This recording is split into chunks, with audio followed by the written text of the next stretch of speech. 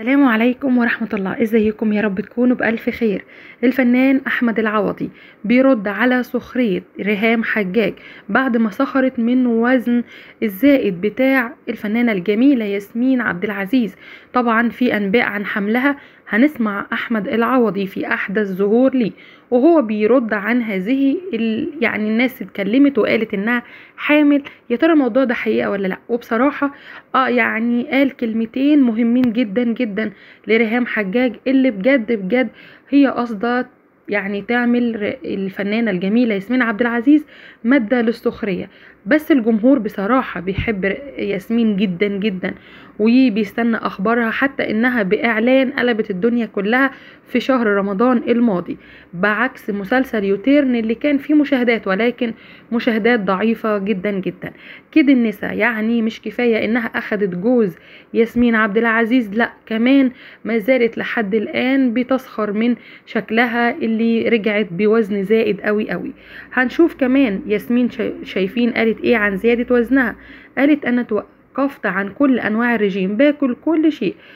بقيت بشتاق لأي أكل وبأي كمية. أنا حاليا بلا قيود بفرح بعودتي للحياة. ومن يحبك سيظل يحبك وأنت وزنك زيادة وأنت قصير وأنت طويل الشكل ليس مهما ولن يفرق مع الحب. طبعا ده كانت رسالة منها هي أيضا للناس اللي قالت لها انت إزاي تخنتي بالطريقة دي؟ إزاي بقى وزنك بالشكل ده؟ وارتبط الموضوع في زيادة وزنها بانها حامل.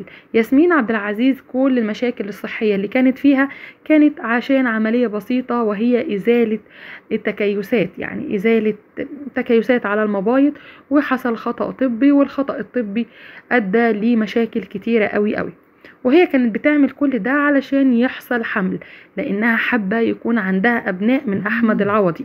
أحمد العوضي ما عندوش أبناء وما كانش متزوج قبل الفنانة الجميلة ياسمين. بعكس ياسمين عبد العزيز فعلا كان عندها أبناء من زوجها محمد حلاوة اللي لما اتطلقت منه ريهام حجاج في ثانية خطفته اتجوزته على حسب ما بنسمع. ريهام حجاج قالت لأ مهما تعملي إعلان إيه اللي أنتوا عاملين عليه ضجة؟ أنا بقالي أربع سنين بتهاجم حتى لو نزلت صورة وده كان في أحدث لقاء وحوار تلفزيوني ليها اليوم. في اليوم السابع. لما قالت أنتوا بتهاجموني وخلاص أنتوا ليه مش بتحبوني؟ يمكن بعض الناس ما بيحبكيش لأنك بجد حقودة وغلوية قوي من ناحية ياسمين. خصوصا إن لو حتى يعني العوضي بسها أو عمل حركة معينة لازم تعملها مع محمد حلاوة وتنزلها على صفحتها. أحمد العوضي بصراحة واقف في ظهر زوجته جدا جدا بيدافع عنها بقوة وينزل فيديو ليها وهما الاتنين بيهزروا سوا وقال لها هتفضلي وحش الكون. مهما كان وزنك زايد مهما كان وزنك قليل انت في عيوني أحسن ما أرى. وإنك جميلة في كل حالاتك. وهاجم وقال أي حد هيتكلم أو هيجيب سيرة ياسمين همحيه من على وش الأرض لأنها هي الهوى اللي بتنفسه وهي برضو ردت على كلامه وقالت الراجل ده هو حبيبي وهو حياتي كلها. كل الكلام ده نزلوه على صفحاتهم الرسمية على موقع انستجرام وده من بعد حوار ريهام حجاج في اليوم السابع اليوم اللي الحوار ما خلاش عن أسئلة عن الفنانة ياسمين عبد العزيز. طيب ياسمين حامل أو لأ نتمنى ليها الخير. هي بتخطط للموضوع ده ونفسها فيه فعلا ولكن لحد الآن لسه إرادة ربنا ما حصلش.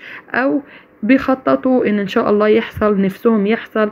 الموضوع بتاع العملية عطلهم كتير. إن شاء الله في أقرب وقت نسمع أخبار سارة.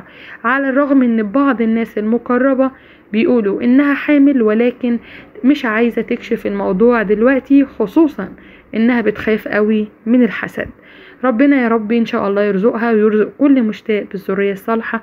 بشكركم وأتمنى اللايك الحلو بتاعكم واشتراك لو أول مرة بتشوفونا. وشكرا جدا. سلام عليكم.